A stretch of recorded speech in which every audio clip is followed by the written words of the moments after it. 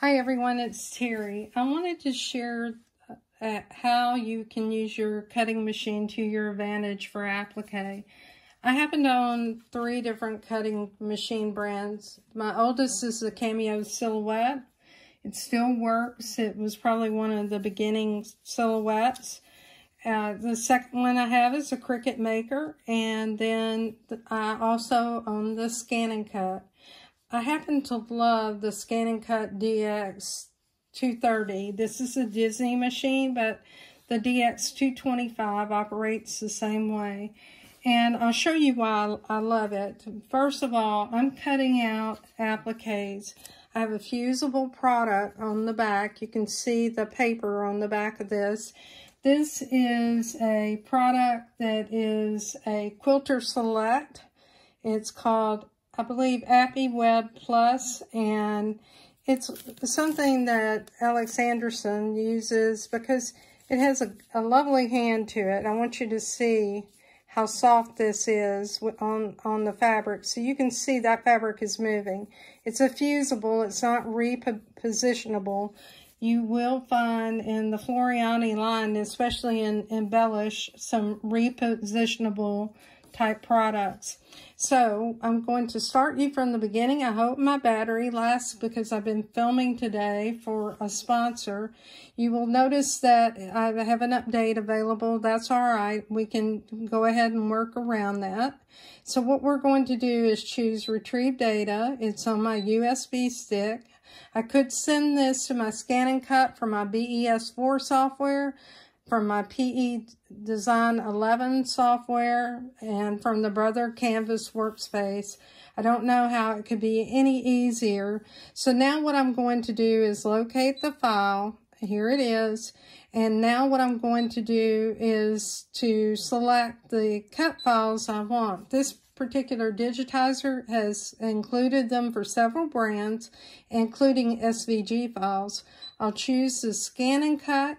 You may see that these FCM files come in black. Don't worry about that. You'll be able to see the images.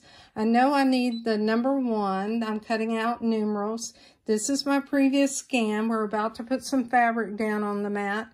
So I'll go ahead and choose OK. And I want to choose Add.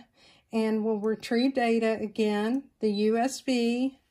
We'll go ahead and locate the file and then we'll select the, next design. Now I can also retrieve it from the PES file if I wanted to, but since she's provided cut files, I'm using those and they have worked beautifully in the project. So I'll go ahead and choose the next file and choose OK.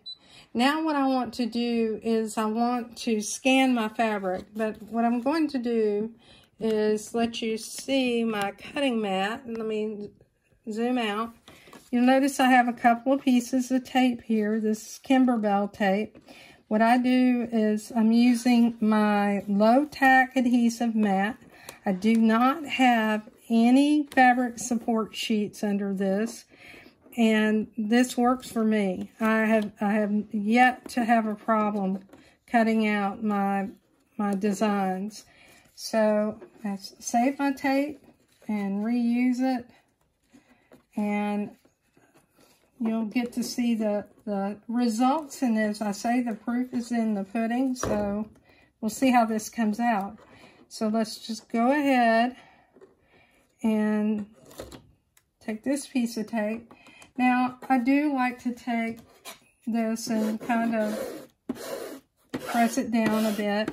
It doesn't have to really be stuck so much to the to this cutting mat. So now what we want to do is scan. So let me reposition the camera so you can see that. We'll zoom back in. And we're going to scan and press start. Because what you saw was a previous scan. So it'll scan and then what I need to do is reposition those images over my fabric.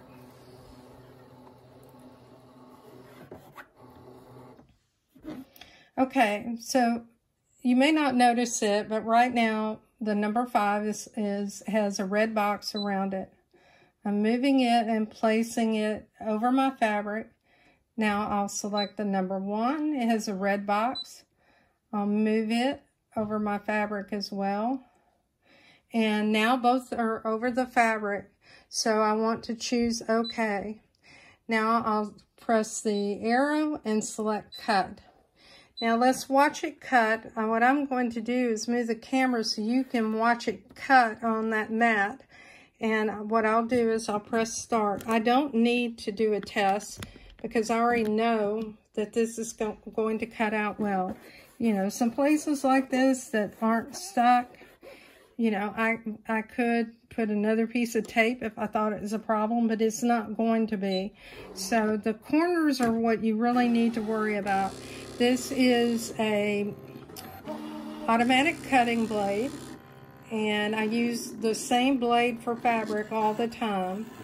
And that way, if, uh, if I'm going to cut paper, which in fact you are cutting paper in this, you're, you're not destroying your blade so much or dulling it. All right. So now all you need to do is I lift up, I just kind of lift up my tape because I have more of these to cut. I could cut more at the same time, but you know, sometimes it's nice to do, just do a few things at once. And you notice how easily that came up and you see how beautiful that cut is. Just take, you can take a spatula if you want and you can lift it up. In fact, it's actually coming up from the paper because I pressed it down so much. And let me just catch a corner of it because I like to keep it attached to that paper until I go to the machine and have my placement stitch. And then I just fuse this in place. You can see the paper on that and you can see how easy it is to separate it. And all you have to do is get your fingernail to start it and you can see that peels back. So that's the number five and now we'll get the number one.